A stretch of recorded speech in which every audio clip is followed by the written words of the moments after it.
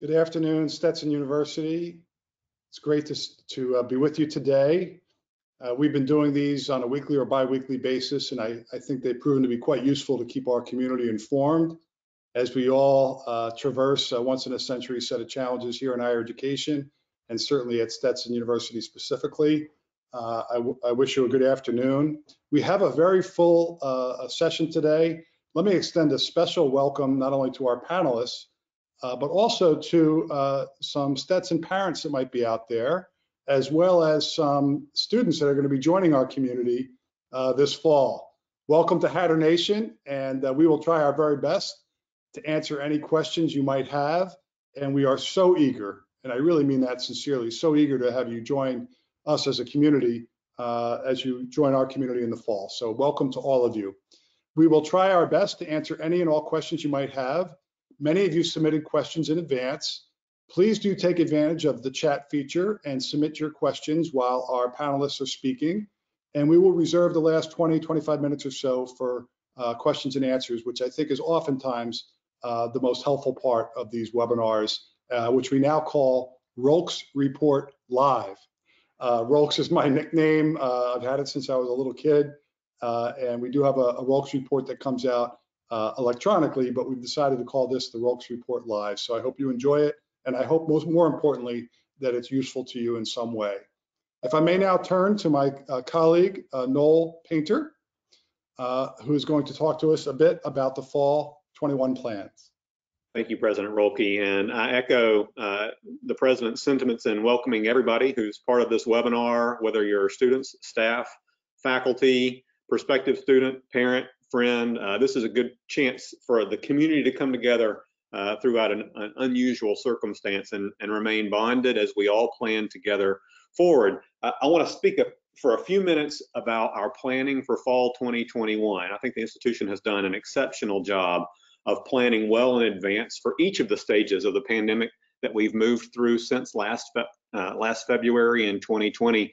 And I do believe that we have a very solid plan for fall 2021 uh, that's receiving good traction around campus. Um, and that's going to put us in a very good position to meet the needs of our students, uh, to address the concerns of, of our community, keep us safe, but also meet the mission of the institution.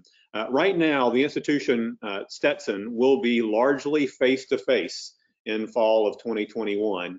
I've had some questions as to whether or not there will be any online classes, and the fact is there will be some online classes. There may be as much as 10% of our classes that are that are online, and we need to have some of that flexibility in there for students and staff and faculty who qualify for a medical exemption. But we are limiting those uh, those exceptional situations to medical exemption. There will be, there is in some cases right now a, pro a process that's already established, and there will be more communication about that process. What we firmly know is that learning happens in a Stetson way, in the most powerful way for our students when we can be face to face.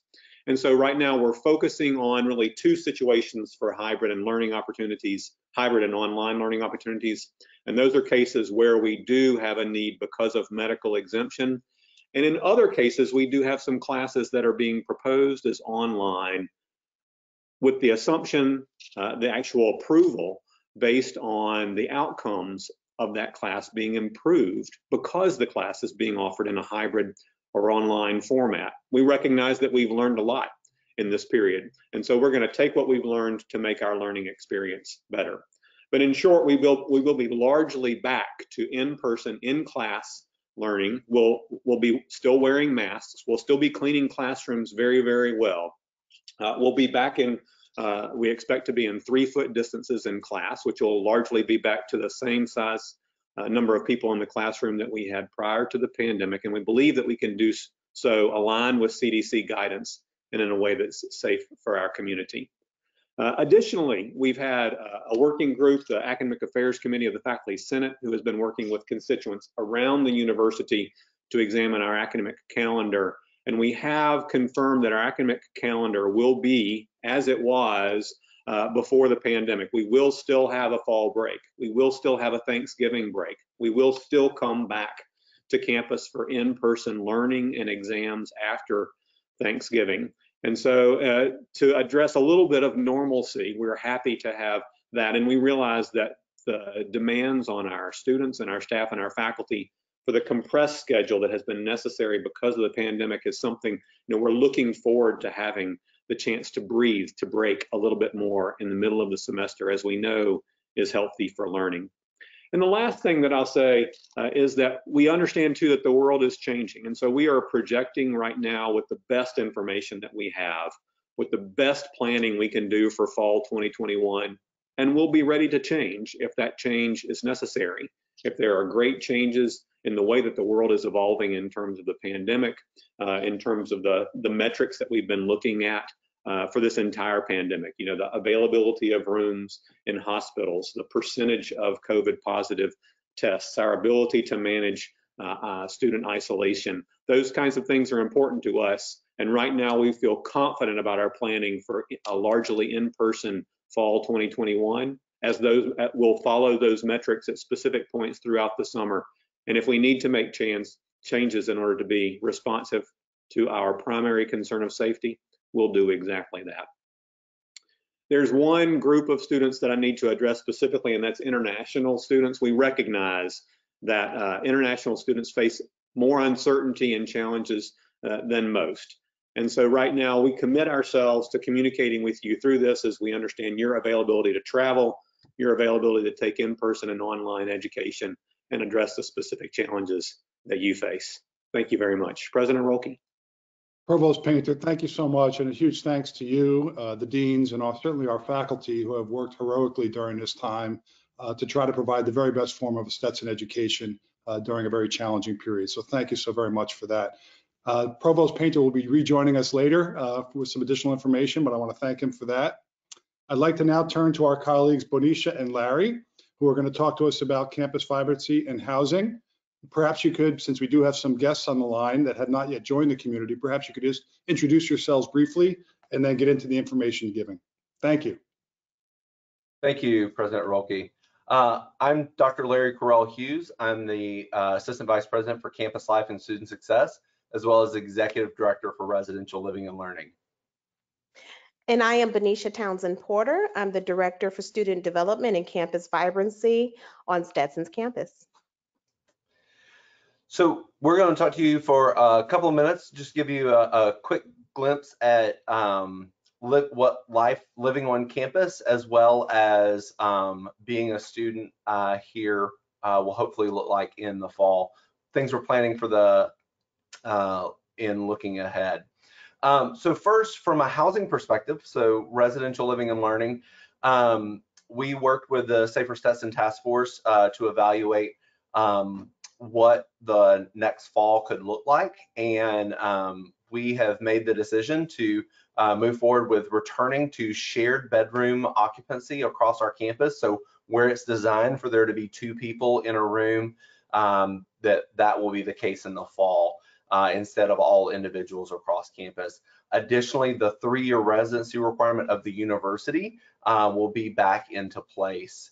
And so um, in thinking about you know, how did we come to this uh, decision? And so that's uh, something that a few people have asked.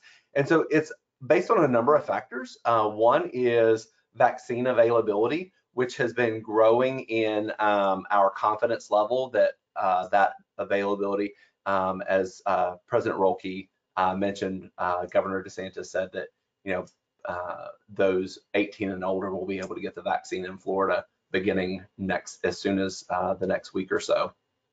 Uh, our mitigation efforts. Uh, so we actually have already installed air purifiers in every shared bedroom uh, on campus, uh, in addition to the UV light filtration systems that were in our air handlers already. Um, the evolving understanding of COVID, what we know about COVID and how students interact in the college, the collegiate environment is different than it was a year ago um, or last July. Um, Additionally, our experience with isolation, tracing, and our tiers policy system, um, we, we have much more confidence in those things um, as mitigants and, and how students behave on our campus and with, with one another, how you behave. Um, and, and, really the community ownership in keeping our community safe um, has been impressive. very impressive. Um, so we, as Provost Painter uh, mentioned, uh, we have set some dates to just kind of reassess and make sure we're still on the uh, path for that safe, uh, vibrant environment in the fall. And so we're going to reassess that uh, at the beginning of April, which is next week. Uh, and so things look very positive to continue with this plan, as well as the beginning of June and July, so that we know kind of some checkpoints. Um, so for the first time uh, this year, we really we prioritized the ability to live on campus, which was really difficult. Um, it was done uh, very fast, but with thoughts of uh, fairness and equity to our students and um, differing uh, demands. And we worked to get as many students as possible on campus, even you know renting hotel rooms uh, nearby for students to be able to be in town and on campus, um, because we value uh, you uh, having the on-campus experience as much as possible. Um, so we have been exploring uh, for a while uh, our assignments philosophy um, here at Stetson and, and listening to student feedback, assessment, um, and there are some aspects of it that have historically felt inequitable and uh, very difficult for a lot of our students. And so we worked with our Student Government Association, so the Diversity and Inclusion Committee, the Campus Life Committee, the Executive Committee, and Senate as a whole um, to create as fair and equitable a process as possible um, that lives into um, our values as well as um, you know makes sense of our three-year university residency requirement in relation to our assignments processes. And so um, we made a change so that um, students who are required to live on campus um, are um, prioritized in the housing self-selection process. Now, this isn't to live on campus. Um, we're not saying people uh, people who aren't prioritized can't live on campus.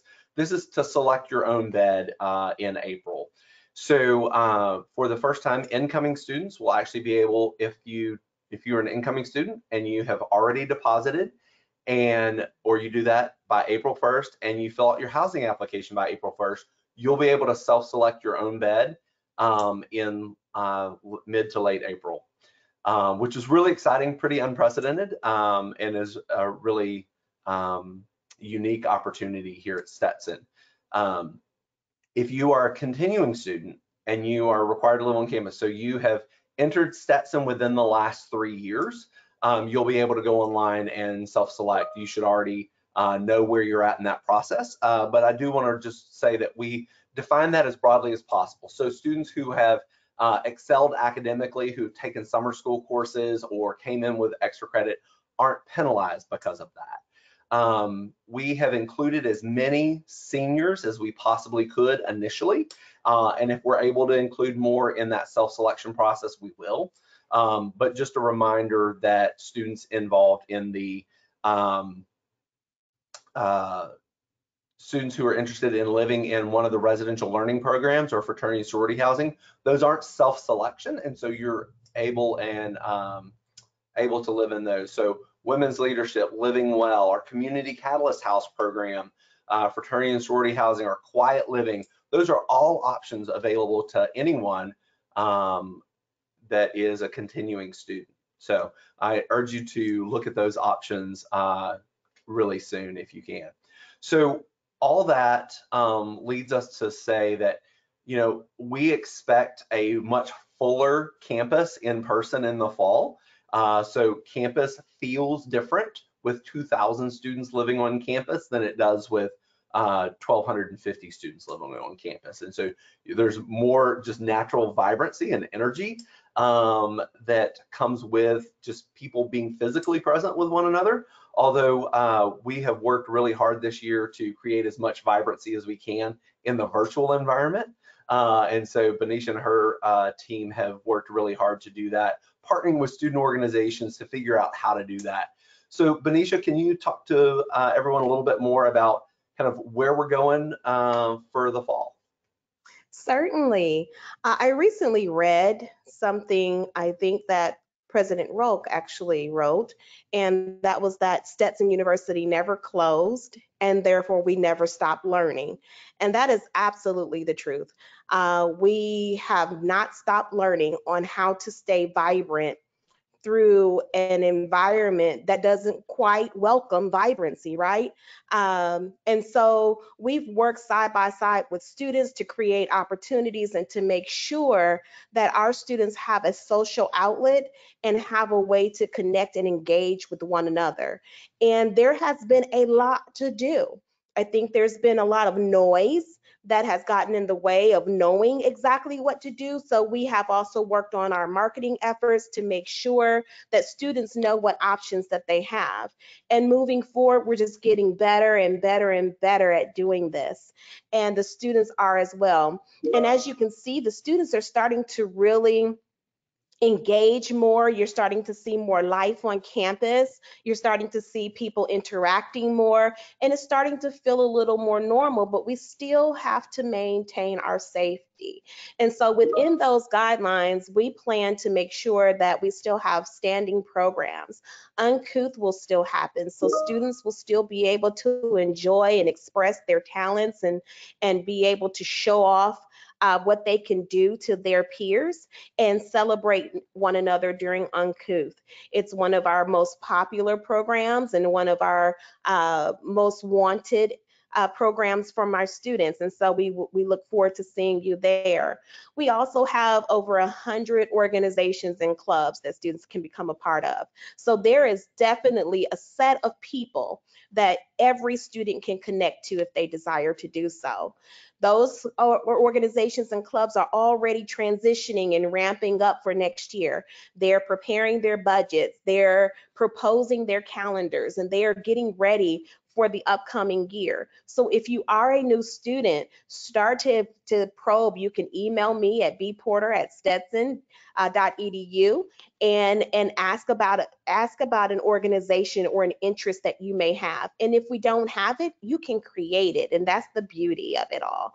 If you if the people are not already gathered, you can create that pot of people so that you can have your people. But we have so many different options on the campus that it's very rarely that you have to create anything because they're already there and they're creating that vibrancy that we want on the campus. We also have different organizations that are managed by departments like Homecoming, Hatter Productions, SGA, uh, Hatter Network, RA, intramurals, you'll start to see more and more of that type of life just coming alive on the campus as the vaccinations become more and more popular and through the throughout the population of the people on the campus. And as the restrictions start to loosen you'll start to see more and more vibrancy on the campus until then, we will do our very best to create what we can. But we need you. We need all of the students to engage. Vibrancy is about energy. It's about the transaction of energy and for everyone being involved. And so that means all of us getting involved, engaging with one another, embracing one another, and celebrating life and being able to learn from each other and have fun with each other and just have bursting laughs across the campus. And that's what vibrancy is about. And so we invite all of the students to engage with us. We also invite faculty and staff to engage with us. And if you have a great idea of a program or an event that you would love to explore with us, email me, bporter at stetson.edu. I'd love to talk to you about it, and my team is ready. Thank you, Bonisha. You know, one of the things that uh, we're you and I were just talking about yesterday is how excited we are that late night breakfast will actually be at night. Um, so you know, the the pandemic caused us not to have a late night breakfast at all um, for spring 2020, and uh, to have a, a, late night brunch um, uh, exactly in, uh, the fall. And so yes. we're excited to to have that back. Uh, for those of you who are incoming students, our first year students, late night breakfast is a huge uh, Stetson tradition where um, it is a late night breakfast right at the beginning of finals, the typically the night before finals start or during the study day. And uh, students line up. Uh, there are students who have years of t-shirts from every late night breakfast. And so um, we're excited about that and so many other things that are hallmarks of the Stetson experience uh, being physically uh, in person uh, the remainder of this semester and into the fall. Right. And I would be remiss to, to not mention that SGA elections are coming up. So if you're interested in those type of student leader positions, then get engaged and get involved and get ready for those elections. And shout out to Hatterthon. They raised $87,000 this year. That's amazing, especially in a COVID year. So uh, there's so many opportunities to get engaged in the way that you want to be engaged. Great. A sincere thanks to both Larry and Bonisha for that very helpful information. Uh, They will be rejoining the screen uh, at the tail end of our presentation. Uh, Some questions are starting to come in on the chat, and they will be very well prepared to answer them uh, related to housing and to campus vibrancy. Before I move on to our next topic, let me just amplify a couple of things that were said. Uh, One is that we have never closed. Uh, It's almost a year ago that Stetson was required to go uh, virtual uh, back last March. But we have moved the Stetson education forward. And the only way that's been possible has been through extraordinary collaboration and care for one another. And we have enjoyed very low positivity rates. We have uh, really been able to come together as a community to prioritize the things that were most important, most notably health and safety. And Bonisha is correct. Uh, this is my first year at Stetson, and what a difference between the fall and the spring in terms of campus vibrancy. Um, you know, we, we live in an extraordinary climate here. So you see a lot of people now outside, again, still wearing masks, still doing the smart things of being physically distant, uh, watching crowd size and the like. Uh, but you're starting to see the campus really start to percolate, if you will. Uh, we have had intercollegiate uh, athletic competitions done with very careful restrictions. Uh, and so it gives me great hope and, and great excitement. It gives me great excitement uh, to be welcoming students back in the fall.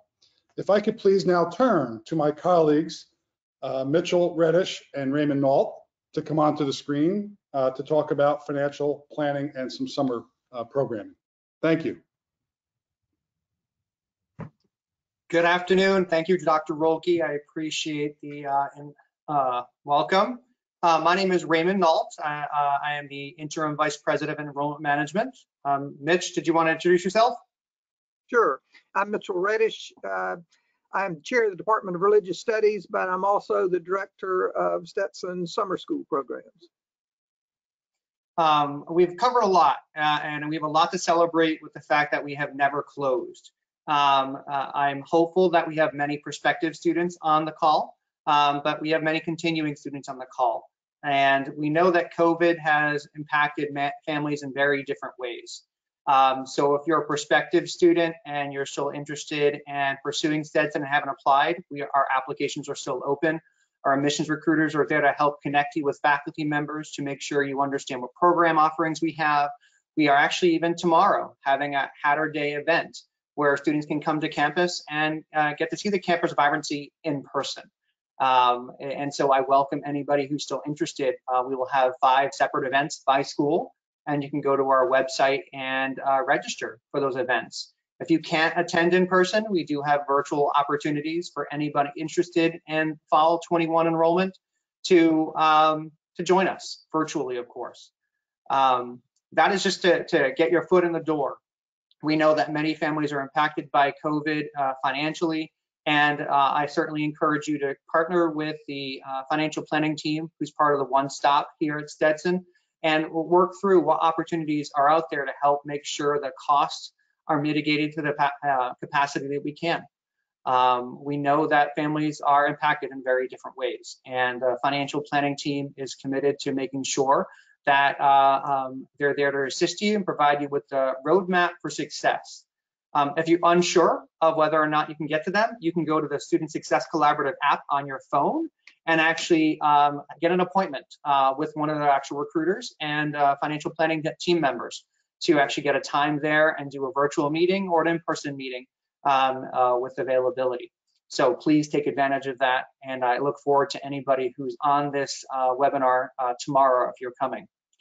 Continuing students, uh, we anticipate to have continuing student awards out in the next few weeks. Um, so that way students can start planning for fall 21. Um, if you're interested in summer uh, courses, we do offer financial aid during summer courses.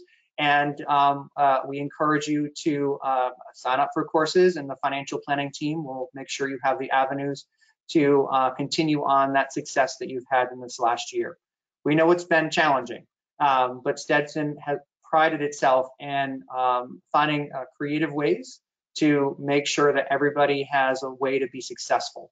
And I think um, what Dr. Reddish will cover is really some of those opportunities during summer for students who are starting in the fall to start a little earlier and get a leg up, or continuing students who want to progress and maybe graduate a little earlier or take an opportunity that they haven't had a chance to in this last year.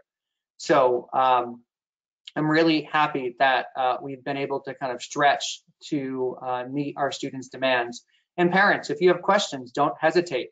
Uh, um, uh, the financial planning team, our recruiters, the people in the student accounts office and the registrar's office are all there to uh, provide you with solutions to some of the questions that you may have. So Dr. Reddish? Thanks, Ray. Uh, we have a very vibrant summer program at Stetson. Even last year, when we had to switch to everything online and offer all of our summer courses online, we ended up having one of our best summer schools in terms of enrollment that we have had. Students find courses during the summer to be very valuable. Uh, as Ray mentioned, for, for some students, it's a chance to catch up on courses that they have not been able to take during regular semesters, or for students to get ahead in their uh, academic career. Students often find the opportunity to concentrate on only one or two courses at a time to be very beneficial to them. Uh, rather than taking a, a, full load like they do during the, the regular semesters. Uh, we have uh, this summer about 115 or so courses that we are offering, and we offer courses that fulfill general education requirements that would be appropriate for new students coming in. We offer courses that meet specific major or minor requirements. Uh, we don't necessarily have uh, every course that you would want to take in the summer, but, but we have a very broad spectrum of courses uh, that would uh, help students in, in getting ahead and advancing uh, their academic career. We have four different summer terms. We have two four-week terms, one seven-week term, and one six-week term. The uh, six week term is a new term that we just started last year. It's what we call session four. Last year we called it our, our special summer session. That session is geared particularly for incoming new students to Stetson, whether they are new transfer students or new first time in, in uh, college students at, at Stetson. Uh, most of the courses that are in session four are specifically courses that would be appropriate for uh, first year students. Most of our courses in the summer, uh, throughout the whole summer with each of the sessions, most of them are online courses. Probably 85 to 90% of our courses are online, but we do have some courses that are on campus courses in the summer and some that are hybrid in which the, students will meet in class part of the time and part of the, the uh, time they will, will meet online. Uh, the exception is session four, which is all online. It is designed uh, particularly uh, that way. Um, in addition to uh, these special uh, re regular summer school courses, we're also offering what we're calling summer engagement experiences. Uh, these are designed specifically for incoming students to help them get adjusted uh, to Stetson. Uh, there's no cost for these other than a small registration fee for each course. It's a $25 registration fee, uh, but we are offering uh, around 20 to 25 summer engagement experiences uh, that in, are intended to help students uh, be successful at Stetson. Some of them are intended to help students be successful once they leave Stetson in terms of, of uh, helping them learn how to be successful in their career. And then there are some that are also discipline specific to help introduce students to uh, particular disciplines at, at Stetson. Uh, students can register for those summer engagement experiences uh, up until June the 1st. Uh, registration for a regular summer school is done online for students who are new to Stetson. They need to, to work through the admissions office uh, to get set up for that students who are current Stetson students would register online the same way that they register for uh, a regular fall and spring semester courses. I, I, hope you join us for summer school. It's a uh, very important aspect of, of education that we do at Stetson. Uh, students find it to be uh, a very helpful part of their career here at Stetson. So there's a few questions that came through the chat. One of them is uh, how Bright Futures works as a private organization. So Stetson does receive uh, Bright Futures. We qualify for the Gold Seal, the Medallion, and the Academic Scholarship. Those are all established by the state. Um, they pay per credit. Um, it's roughly $203 per credit for the um, uh, academic and about 101 for the medallion. Um, those are rough estimates. The amounts are certainly on our, our website. Um, uh, students certainly have to qualify. They have to complete meet state requirements for SAT, ACT, um, community service hours. Those are all set by the state legislature. Um, and we know that students have struggled this year being able to take the co, uh, um, SAT and ACT tests. I know there was recently a just one here in Florida. The um, tests were on Wednesday this past week. So there still are opportunities to take the SAT test and, um, and qualify and so forth. If you don't see it on your financial aid award as a prospective student, first time student, please let us know and we will certainly check with the state database to see if you qualify. Um, but you can use those funds to help defray your expenses during the fall and spring semester. Um, continuing students, you'll know if you qualify right in your financial aid award. You must maintain your eligibility. That means maintain the GPA associated with whatever program you qualify for and complete um, at least 24 credits academically, uh, fall and spring. There's one exception as a first time student, you can use summer to capture some courses. So if this year um, you have fallen behind because of COVID um, and remote courses and you need to catch up and get to 24 credits, you can do it with this summer semester. Um, so there are opportunities for you to certainly um, uh, explore ways to maximize as much financial aid that you can receive as possible. Um, there is a second question about what's the benefit of summer, and that depends. You know, there are a lot of students who are eager um, and they want to get a leg up on um, course opportunities. So continuing students want to progress and continue earlier. Students who are um, want to pursue a different major and want to try something new, try an opportunity that's outside their major and they want to take that course, they can certainly pursue those opportunities. Prospective students, you want to know what campus life is like, even though it's remote in summer four, you have an opportunity to get your feet wet and to know what a college course feels like, looks like. So when you start in the fall, you already have the experience to be successful and know how to navigate the advising process through the entire um, semester. So there are different ways in which summer can benefit you. Um, costs are online, um, but you can receive financial aid for the summer courses. Um, you can qualify for a less than half-time Pell Grant if you're Pell eligible. You can qualify for student loans. You can qualify for other types of assistance during summer. And the financial planning team can help you do that. So if you have questions, I would certainly encourage you to connect with them. Send me an email. I will connect you with the right people and make sure you have the answers to be successful no matter when you start. So thank you, um, Dr. Roellke. Ray and Mitchell, thank you so much. Very helpful information. And I think it's a good example that those students at Stetson that dive in, so to speak, they dive into the things we have to offer are often those students that are able to capitalize most effectively on a Stetson education. So I thank you for those uh, reviewing those opportunities uh, with our audience and with all of us. So thank you. Uh, I'm also pleased to report that in December, we were able to celebrate six commencements on the DeLand campus and three commencements at the College of Law. And we are gearing up again for in-person commencement this May.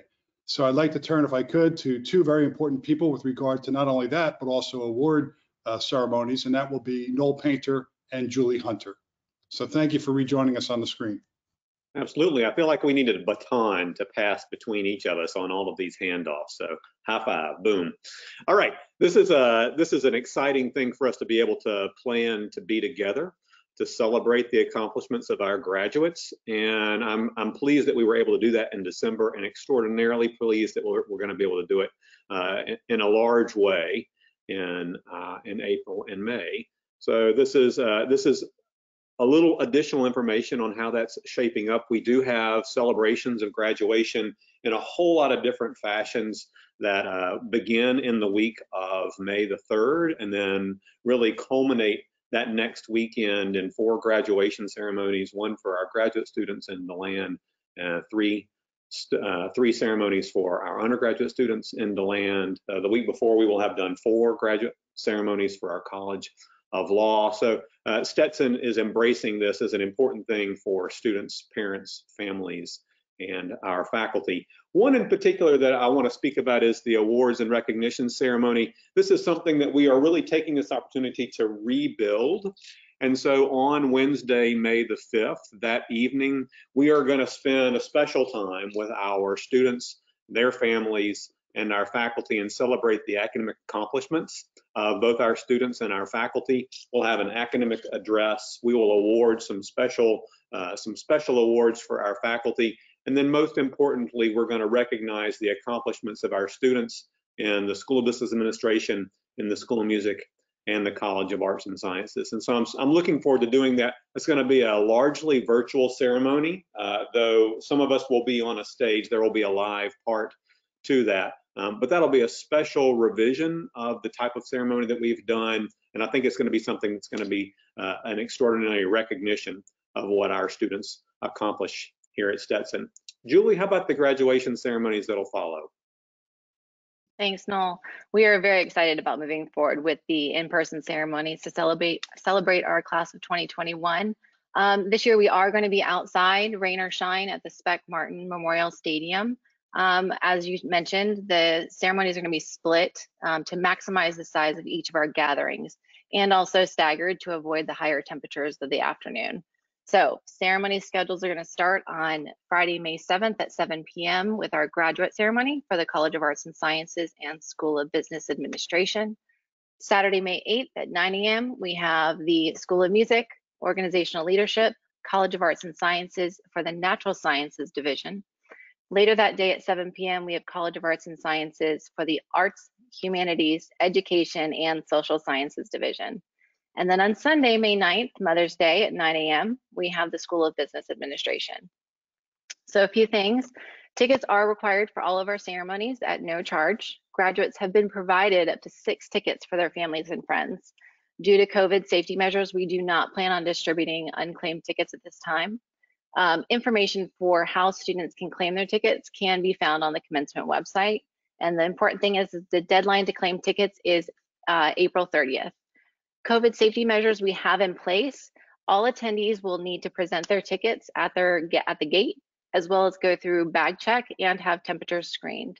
Um, we're going to require everyone to wear a mask through the throughout the ceremony, as well as sit physically distant from other families. Um, graduates and families sitting on the field will also be spaced six feet apart. During the ceremony, we have eliminated handshakes, master's degree hooding, and the traditional handing out of the padded folders. Those are going to be mailed to graduates with their diplomas two to three weeks following graduation. Um, we've also eliminated the sorry the receptions and gatherings following the ceremony and ask that all attendees avoid gathering in large groups both around the stadium and on campus. Basically, overall, the main thing to remember is to remain diligent and respectful of everyone around you. A few quick notes uh, for reminders, any guests requiring accessible seating for mobility or health concerns need to submit a request on the commencement website. We will be live streaming all the ceremonies. Um, that link will also be on the commencement website. Guess what? The commencement website is the place to go.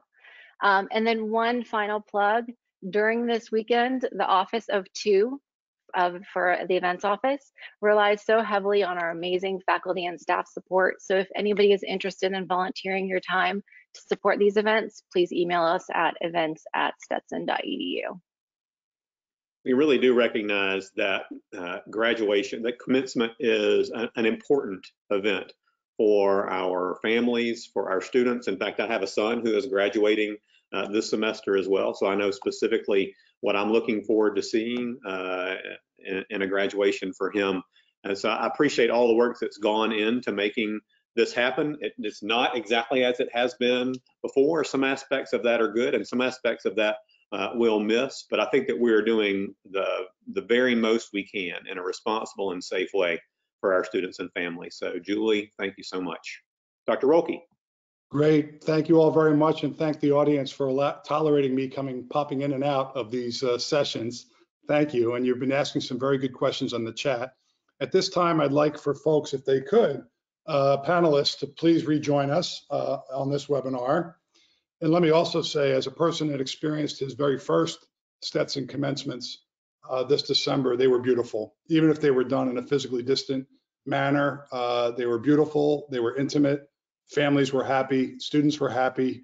Uh, it's a very important rite of passage, and we're delighted that we're able to do that in person, even if it is a bit more restrictive uh, than what we might typically do. So it's, it's really wonderful. And I think, frankly, is an example of the creativity and innovation that Stetson has brought uh, to this uh, to this pandemic time. So huge kudos around to everyone for your collaboration and for your understanding and also for participating.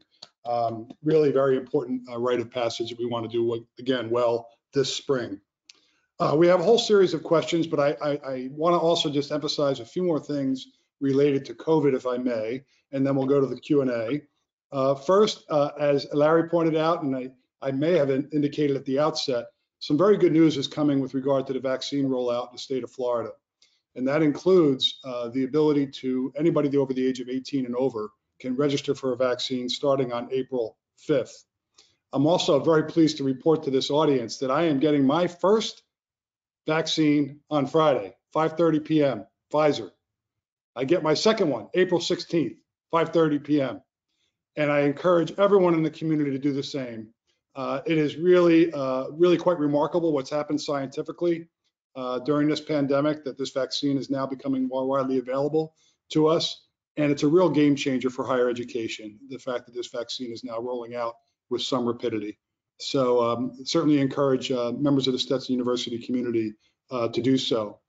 Uh, despite the greater availability of vaccines, including for those over the age of 18, we are still working hard to work with our Department of Health partners, Advent Health, and also the independent, independent colleges and universities of Florida to make Stetson University available as a vaccine site.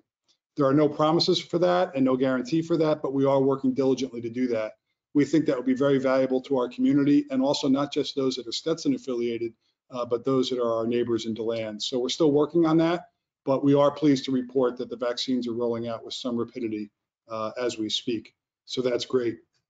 And again, it's been mentioned a number of times here. Uh, we still, still are in the middle of this pandemic, and I'd be remiss if I didn't continue to emphasize the importance that we take important safety measures.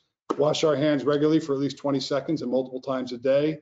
Wear your masks, watch your distance, and watch your crowd size. WWWW. That's that's why Stetson has been able to thrive during this very difficult environment because we have had such incredible compliance among all members of our community with those very simple and I think straightforward uh, mitigation efforts. So let's stay let's stay diligent uh, on vigilant on those things. So thank you. The first question I have is on the academic uh, side. Noel, you earlier talked about you know our desire to be as much face-to-face instruction as possible, and that we do have some accommodations for health uh, folks that might be in a health risk category et cetera, either students or faculty, et cetera. Would it be possible for students to be uh, online for some of their experience? I suspect the answer to that is yes, but not fully online. Is that correct? That is correct. Uh, for students who qualify, who request and qualify for a medical exemption, there is the opportunity to be fully online, uh, but that's going to be a little bit tricky because uh, all of the availability um, for classes that you might have in person won't necessarily be there. We're going to have to work with you specifically to make sure that you get a schedule that's going to work both for you and and for your faculty. You know, with about 10% of the class total being online, there will be limited access to online classes for students who don't qualify for a medical exemption just because that's appropriate for the instructor or appropriate for the pedagogy and the outcomes of the class. And so students, when registration opens on April 5th, which is a week later than initially planned, but on April 5th, registration opens, there will, there will be classes that are listed as online that you can register for, um, but they will be limited and the seats in those class will be limited because we'll be saving some of those seats for students who do qualify later over the summer, incoming, et cetera, for medical exemption. Right. Uh, I'll, I'll, mention this again at the end of the chat, uh, end of the session uh, in one of our slides, but we are again encouraging all uh, Stetson community members to get vaccinated. And when you do get vaccinated, please do uh, register yourself as having been a vaccinated person. I'll give you that information at the end of this session because we do want to make sure that most of our community, if not all, are vaccinated as we move forward. So again, a strong encouragement to get vaccinated. We have a question here about, uh, and Larry, this is for you, and you may not yet know the answer because this is a highly evolving context.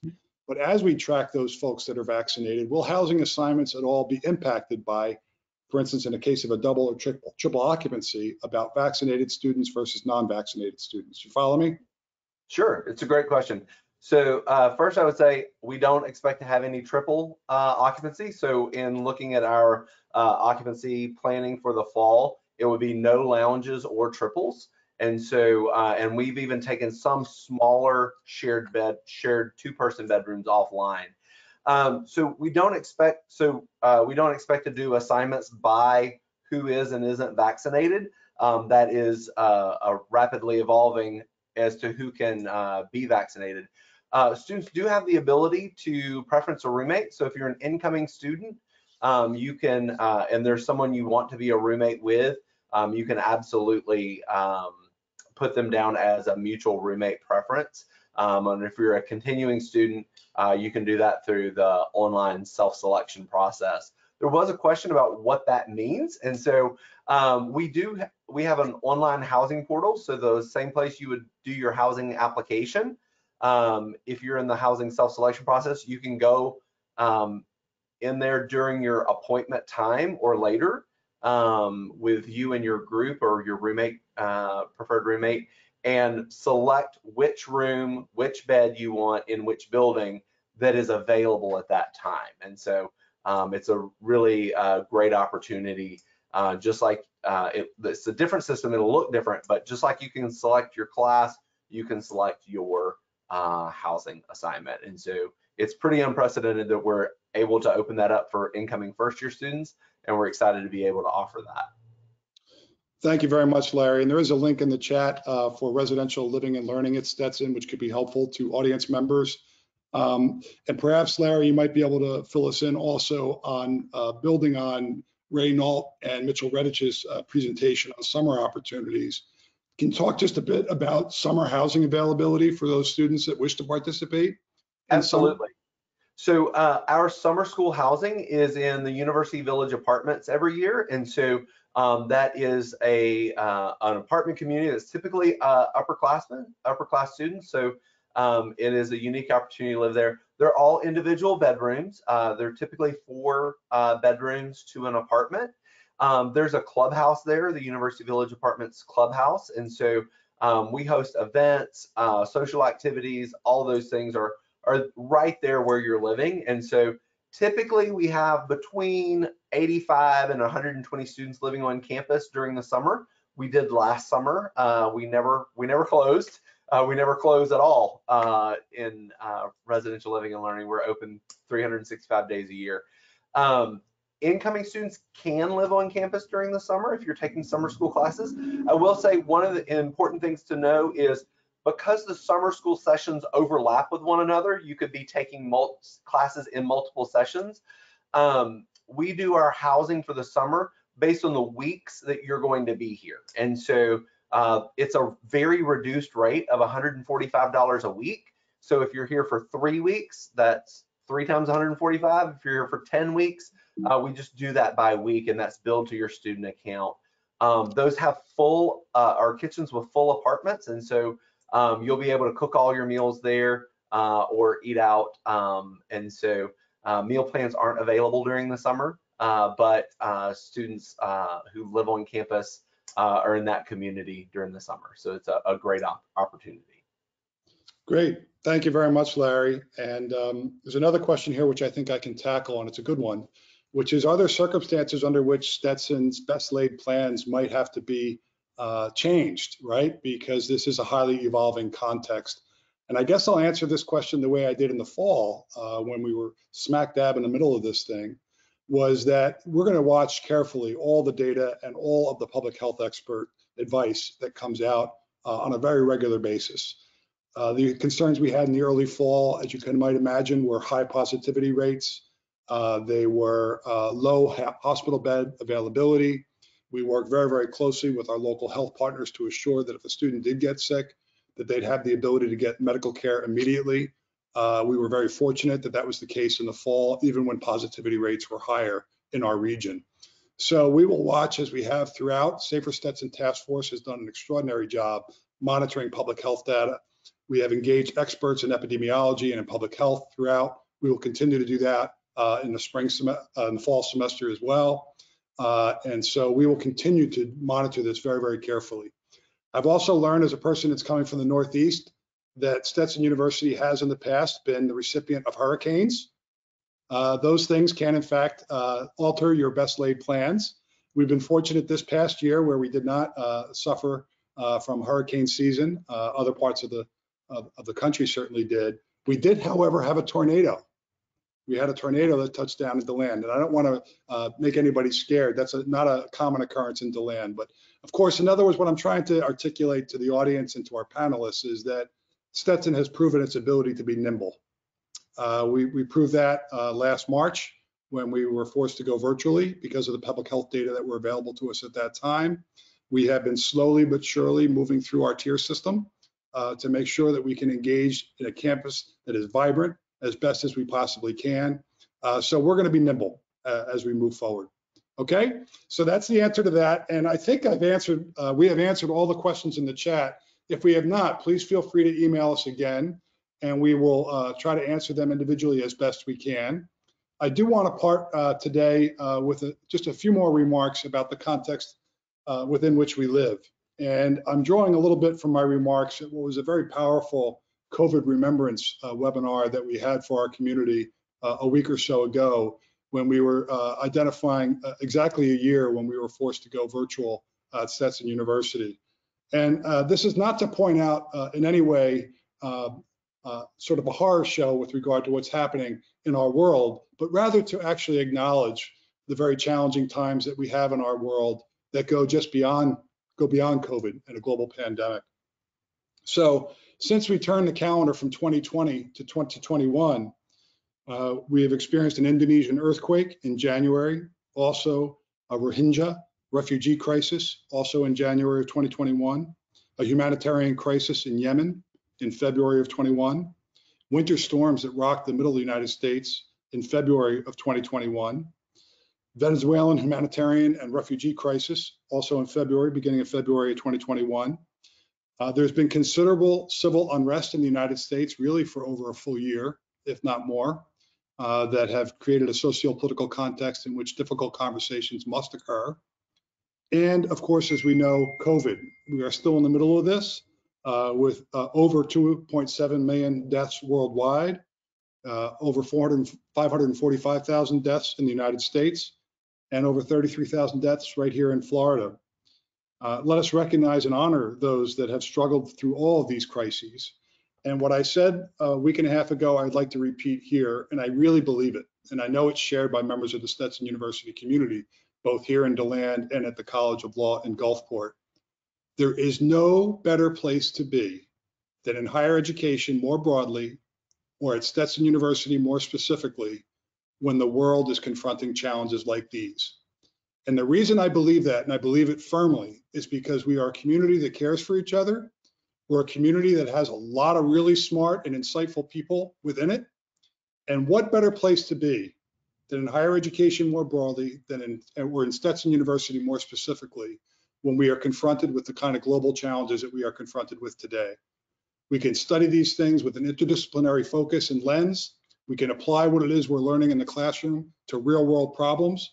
That to me is profoundly exciting and makes me really reaffirm for you why it is such an honor and privilege to be serving as your 10th president at Stetson University. Please stay safe. Please stay well. Please keep your questions coming. And as I always conclude, go Hatters.